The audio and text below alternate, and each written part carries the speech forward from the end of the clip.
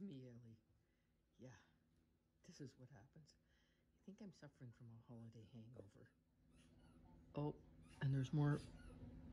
Wait, I hear squeaking. What's my sister up to? Oh, there's Jack.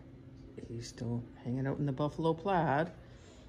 What are you doing? Yeah, you've got your Christmas toys. You're having a good time.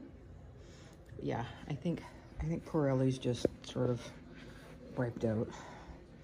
I'm I'm buffalo platted out, mom. I'm holidayed out.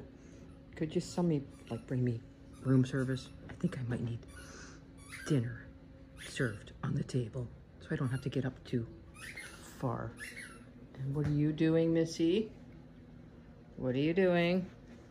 What's your sister up to? Oh, wait, can you get up? Is it possible? Oh, wait.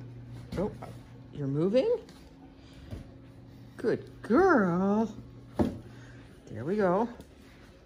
Yep. Little, little shit. Oh, heading to the toy box. Yeah, that's the first place you go when you wake up. Oh. Good, good, good. Fa la la. Yeah. Mom really doesn't want to put it away, but oh, sadly that time has come. Time to wait to decorate the Valentine's tree. Oh, Maddie's, oh, Ellie's really heading outside. All right. It's time to hit the great outdoors. All right. No, don't drink the water in the bag there. Just go outside. There you go. Out you go. You gotta put the lights away. Okay, and off we go. All right, off to the pool. Oh, yeah. Gotta love Florida winters. Where are you going, Missy? All right.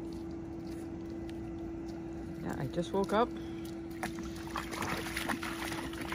I was going to have a drink until Shamu the Splasher showed up ahead of me. Yeah, Maddie doesn't mind the cold or water.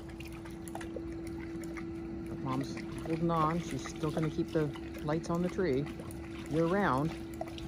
Yeah, it's Florida. We can do these things. What do you think? Oh, you're taking the big step. I might go swimming soon. All right, girls. Enjoy your drinks. Good girls.